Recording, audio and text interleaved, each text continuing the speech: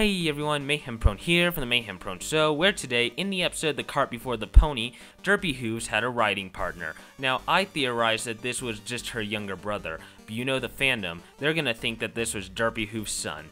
And, in the slight chance that that's true, who would be the father? To find this out, we're gonna need to use genetics.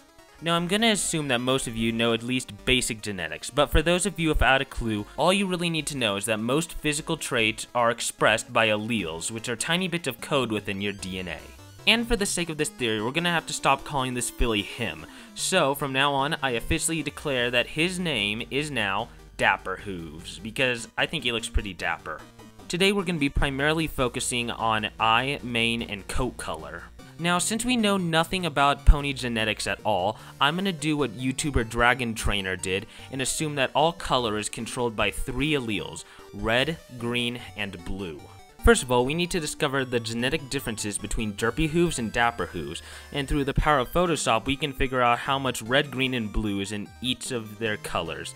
Now, after looking over it, we can assume that Dapper Hooves' mane has less green and less blue allele, and his eyes have more red and more blue allele. So, whatever pony is his father should have similar genetic traits. Now, finding a candidate that even comes close to my parameters was much easier said than done. Me and my friend Nightstar looked over hundreds of ponies from the show, the books, and even the comic books to find a close match. We were eventually able to get it down to three likely possibilities, and before I tell you them, you have to note that I am including mares and fillies because, due to our limited knowledge on background ponies, any of these options could potentially have eligible family members. I was looking more for genetic similarity. I'm sorry to break some people's hearts, but unfortunately Dr. Hooves didn't come anywhere close genetically, because the number 3 spot goes to Svengallop.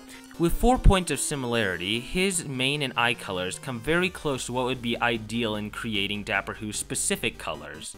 The unfortunate problem is that Dapper Hooves has almost no blue in his mane whatsoever, while Svengallop's mane is full of it. This pretty much denies the fact that he could possibly be Dapper Hooves' father, which drops him down to third place. Plus, this would be a very weird sip. Now this is where things start getting really weird, because for second place in genetic similarity actually has to go to Peppermint Twist. With 5 points of similarity, C is the perfect combination of mane color alleles that are required, so it could easily be one of her family members such as a brother or father. Now before we get to the number 1 spot, I have an honorable mention straight from the comic books named Diamond Rose. She nearly made the number 3 spot but just barely missed out. Out of all the hundreds of ponies we researched, only one could be the winner. The optimal combination is Prim Hemline. With 5 points of similarity, she has perfect eyes and nearly perfect mane.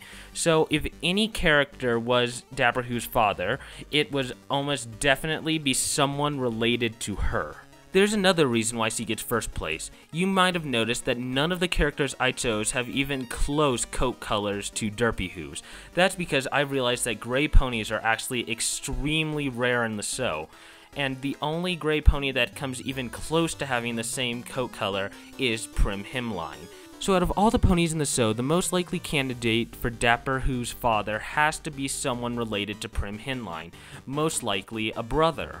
But with that out of the way, I had one question on my mind.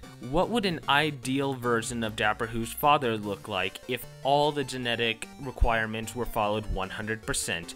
And after a long time of working, this is what I came up with. This is what Dapper Hooves' father would most likely look like due to the genetic clues that we've learned.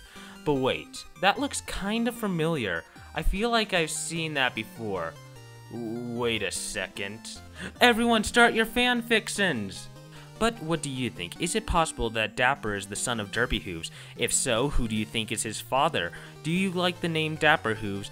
And do you want to see more theories about genetics? Leave a comment in the section below so I know what you think. The must-watch pony video of the week has to go to Lily Peet with their newest episode of Glass of Water about horse fame. It's very funny and informative, and if you really, really like this theory and you want to see more, then go check out this video by Dragon Trainer. He used pony genetics to prove why Pinkie Pie was most likely not adopted.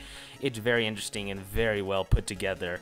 And until next time, I'm Mayhem Prone from the Mayhem Prone Show, and goodbye.